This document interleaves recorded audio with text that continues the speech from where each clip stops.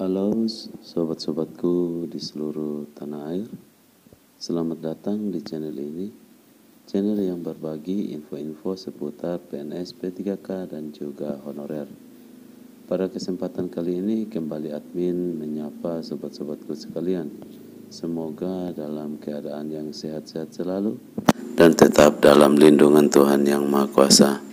Pada kesempatan kali ini Kembali admin ingin berbagi informasi terkait nasib honorer di seluruh tanah air, yakni akhirnya ada kejelasan nasib honorer tahun 2023 akan semakin baik dikarenakan.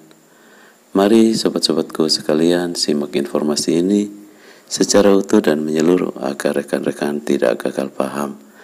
Namun sebelum admin melanjutkannya, Admin berharap dukungan dari sobat-sobat sekalian untuk perkembangan channel ini dengan cara subscribe dan juga nyalakan loncengnya. Akhirnya setelah sekian lama para tenaga honorer terus dihampiri berita yang mengejutkan tahun 2023. Kini akhirnya tenaga honorer akan memiliki nasib yang semakin baik di tahun 2023. DPR RI telah memberikan kejelasan nasib tenaga honorer seluruh Indonesia, khususnya pada akhir tahun 2023. Para tenaga honorer yang telah mengabdi selama ini terus berharap agar nasib mereka menjadi lebih baik. Tidak sedikit bahkan yang berharap menjadi tenaga honorer akan menjadi pintu untuk diangkat sebagai ASN Aparatur sipil negara atau ASN adalah harapan yang diinginkan oleh para tenaga honorer. Berita gembiranya adalah di tahun 2023, para tenaga honorer peluang diangkat menjadi ASN.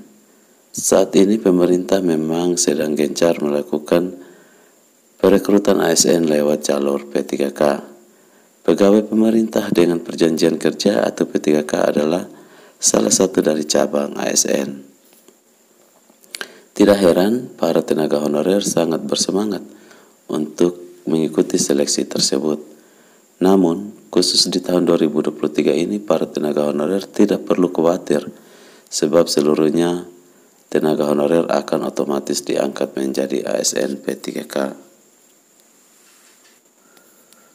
Hal ini disampaikan langsung oleh Wakil Ketua Komisi 2 DPR RI Juni Mart Girsang. Ia menjelaskan bahwa tanpa terkecuali, para tenaga honorer akan diangkat menjadi ASN P3K paling lambat 28 November 2023. Seluruh tenaga honorer akan diangkat menjadi P3K tanpa ada pengecualian, ujar Juni Mart. Itulah informasi yang dapat admin bagikan untuk sobat-sobat sekalian. Semoga bermanfaat dan akhir kata admin ucapkan terima kasih.